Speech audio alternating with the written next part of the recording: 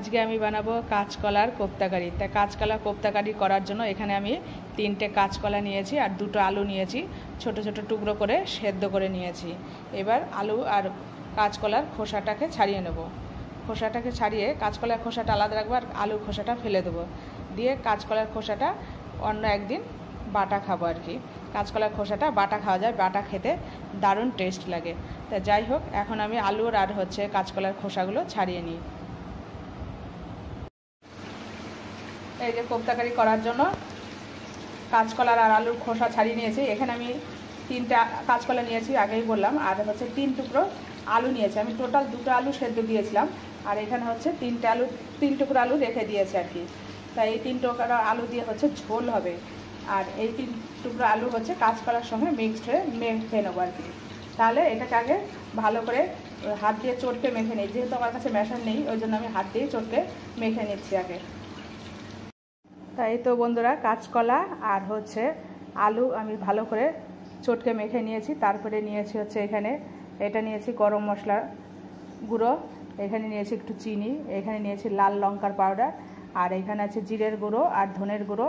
এখানে নিয়েছি একটু হলুদ, এখানে নিয়েছি স্বাদ অনুসারে লবণ, আর এখানে আছে আদা জিরে বাটা। আর এখানে মাঝখানে নিয়েছি হচ্ছে কর্নফ্লাওয়ার। আর এখানে একটু সাদা তেল ঢেলে দিয়েছি আর কি। ঢেলে নিয়েছি। সমস্ত উপকরণগুলো দিয়ে আমি এখন ভালো করে চটকে মেখে কোপ্তার আকারে তৈরি করে নেব।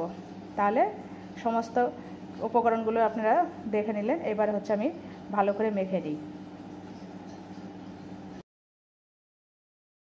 এই তো কোপ্তাগুলো আমার বানানো কমপ্লিট হয়ে গেছে।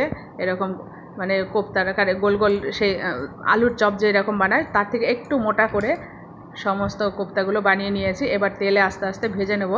আমি সাদা তেলে ভাজছি না, আমি সর্ষের তেলেই ভাজছি।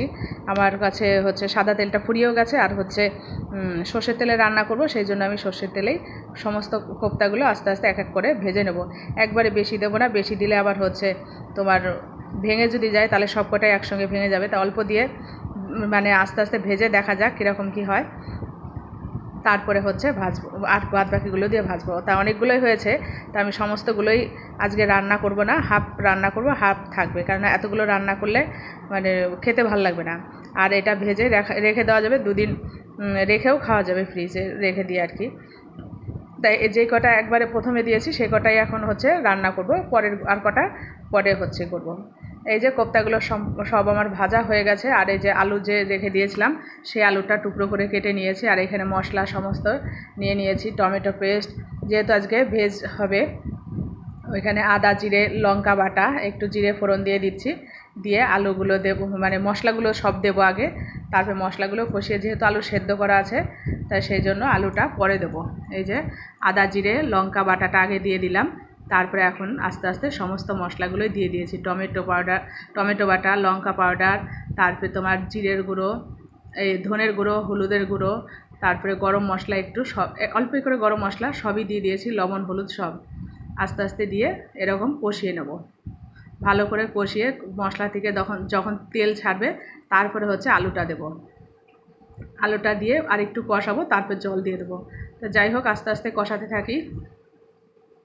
এই যে মশলাটা আমার কষে গেছে, আমি তার মধ্যে মানে আলুটাও অ্যাড করে দিয়েছি। আলুটা অ্যাড করে দিয়ে একটু মানে ইয়ে যখন মশলাটা তেল ছেড়ে দিয়েছিল তখন আলুটা দিয়ে দিয়েছিলাম। দিয়ে ভালো করে এটাও নেড়ে ছেড়ে কষে নিয়েছি। নিয়ে এবার এর মধ্যে এই যে ভালো করে কষানো হয়ে গেছে, জল দিয়ে দিলাম। তা একটু জলটা একটু পরিমাণে বেশি দেবো, অল্প একটু আরেকটু দেবো, কেননা কোপ্তাটা জল শুষবে, নাহলে তরকারিটা একদম শুকনো শুকনো হয়ে যাবে, খেতে ভালো লাগবে না। এই যে ঝোলটা আমার ফুটে গেছে, এখন কোপ্তাগুলো এর মধ্যে নামিয়ে দেবো। নামানোর আগে আরেকটু, অল্প একটু গরম মশলা ঘি দিয়ে নামিয়ে ফেলব। তাহলে আপনারা এইভাবে বানিয়ে খাবেন, নিরামিষ কোপ্তাকারি, দারুণ লাগবে। তা আমি অনেক দিন আগে একবার বানিয়েছিলাম, তাই এখন যেহেতু মানে ভেজ আজকে খাব, সেই জন্য আর কি। তোমার এইভাবে বানালাম। এই যে সমস্ত কোপ্তাগুলো আমি দেইনি। আর ওই ওইখানে কালো একটা তেজপাতা ভাসছে আর কি। তা যাই হোক, এই যে অল্প একটু গরম মশলা দিয়ে দেবো। দিয়ে একটু ঘি দিয়ে অল্প পরিমাণে ঘি দেবো। হাজব্যান্ড আবার ঘি খেতে পছন্দ করে না, ওই জন্য বেশি দিলে খেতে চাইবে না।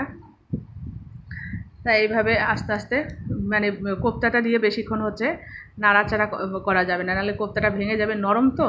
আর হচ্ছে বেশিক্ষণ ফোটালেও ওটা ভেঙে যাবে। তা অল্প একটু ফুটিয়ে ঘি গরম মশলা দিয়ে এবার আস্তে করে নামিয়ে নিতে হবে। নাহলে ভেঙে যাবে। তা যাই হোক, সঙ্গে থাকুন, দেখুন। আর এই যে কোপ্তা আমার রেডি হয়ে গেছে। এইখানে এই যে এরকম হয়েছে। তরকারির ঝোলটাও এর পরিমাণে রেখেছি। তা খেতে কিন্তু দারুণ হয়েছে। আমি একটুখানি মুখে দিয়ে টেস্ট করে দেখেছিলাম, লবণ মিষ্টি। মানে যাই হোক, ভিডিওটা এখানেই শেষ করছি। যদি আমার ভিডিওটা আপনাদের ভালো লেগে থাকে তাহলে একটা লাইক শেয়ার সাবস্ক্রাইব অবশ্যই করবেন, আমার পাশে থাকবেন। ভালো থাকবেন, সুস্থ থাকবেন, সাবধানে থাকবেন। টাটা বাই আপনারা এরকম বানিয়ে বানিয়ে খান নতুন নতুন রেসিপি দেখবেন মুখের টেস্ট ফিরে আসবে। আর একঘেয়েমি খাবার খেতে ভালোও লাগে না, মাঝে মধ্যে একটু খাবার চেঞ্জ হলে ভালোও লাগে। তাহলে ততক্ষণে আবার আসছি নতুন আর একটা ব্লগ নিয়ে বা ভিডিও নিয়ে। তাহলে টাটা বাই